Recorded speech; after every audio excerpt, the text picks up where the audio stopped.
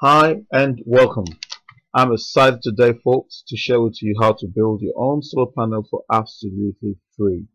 Do you believe you can get a whole solar panel for free? Yes I do and you should the same.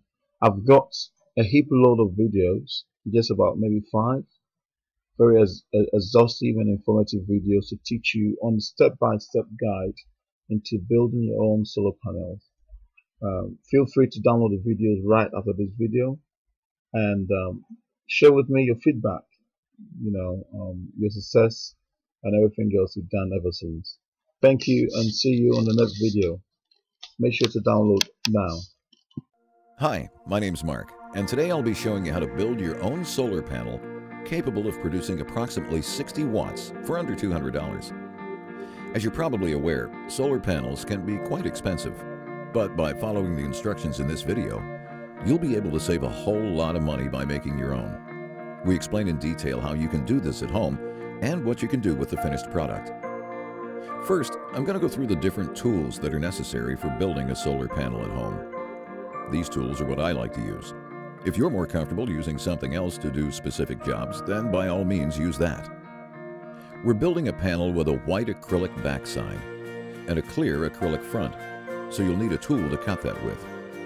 For that purpose, I have an acrylic cutter, which is used to score the acrylic so that you can put it on an edge and break it off easily. To screw down the frame, we have a drill and some drill bits. You'll need to have drill bits of two sizes, smaller size for the pilot holes, the bigger one for drilling the actual hole, and a unibit for drilling the hole for the chase nipple. We're using liquid silicone caulk throughout the job so we need a caulk gun and silicone.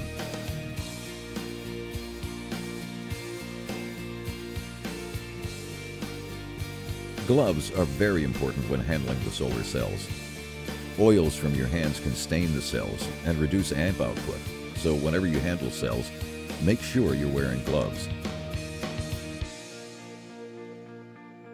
Next, we have the soldering iron, which is used to solder the cells together. You may also want to wear a mask when soldering because the fumes from the solder can be quite obnoxious and can give you a headache. Here we have some protective eyewear. It's important to wear something to protect your eyes during the build. When you're soldering, sometimes the flux and solder can flick up. You definitely don't want that in your eye. An important item is the multimeter, you want to make sure that your multimeter can measure both volts and amps. A multimeter like this one only costs about $10 from any hardware store. This is a must-have item as we'll use it to test the solar panel when it's finished to see if it's producing the correct wattage. We'll need some screws. When selecting screws, make sure you use stainless steel screws as they last much longer. You don't want your solar panel frame to fall apart after a few years due to cheap screws. Stainless steel screws will cost a little bit more, but it's a very worthwhile investment. Then we have a wire stripper and two screwdrivers, a Phillips and a flathead.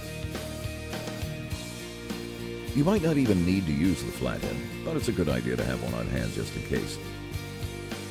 You'll also need fine point needle nose pliers are good for crimping the tab wire. Also, some useful tools are a pencil or a marker and Hey, hey, hey. The rest of the video is 40 minutes. Uh, you've already seen 4 minutes of it. Uh, but go ahead and get the full video. Um, just click on the link in the description or just go to tinyurl.com forward slash the solar project and get the rest of the videos for absolutely free.